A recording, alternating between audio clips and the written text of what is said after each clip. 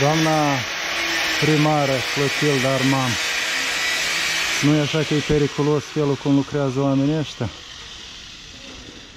Eu înțeleg că biserică,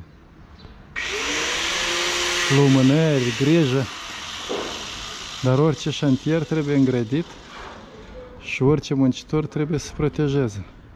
Mănuș minunat, bocanci nema, cască nema, gard nema.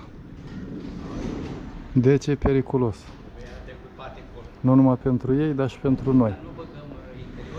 Eu n-am venit la biserică, am venit la blocul E al primăriei.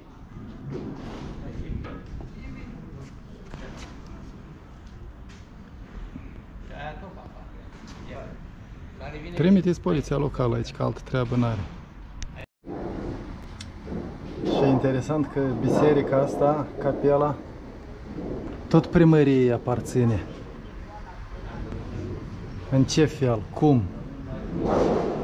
Contribuiți cu bani din buget pentru întreținerea capelei?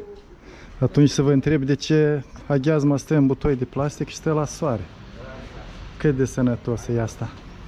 Sau de enoriaș nu vă pasă, lasă-i să sufere. Că o băut aghiazmă mică după anaforă. Mai grav decât atât, aici e și o școală în curte unde se lucrează cu flexul și doamnă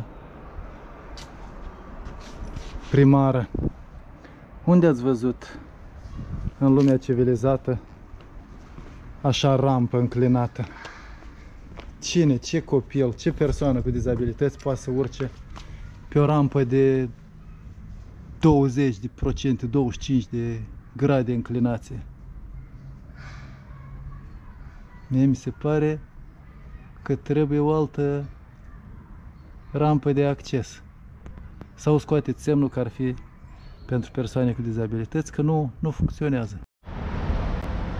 Madame Clotilda, unde ai văzut mata așa barieră să închidă tot carosabilul?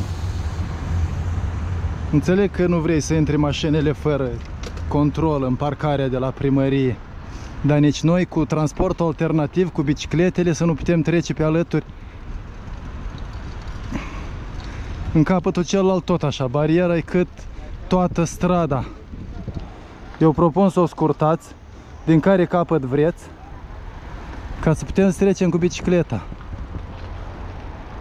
Și cu trotineta. Că nu putem urca pe trotuar.